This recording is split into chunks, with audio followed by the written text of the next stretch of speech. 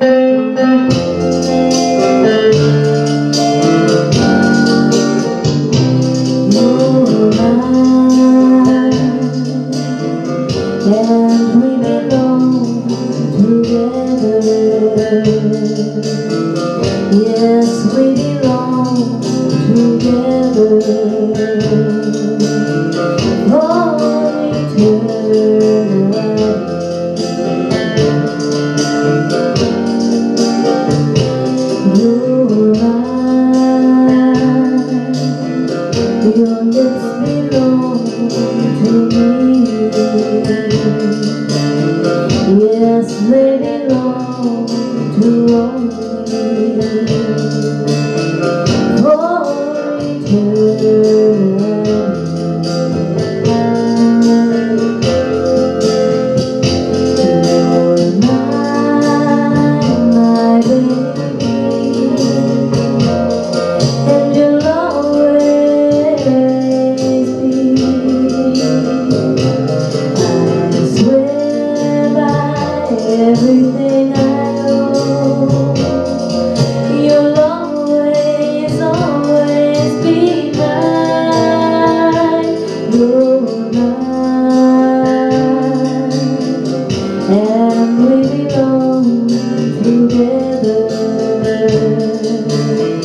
Yes, we belong together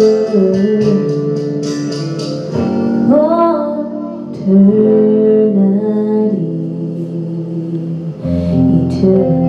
eternity.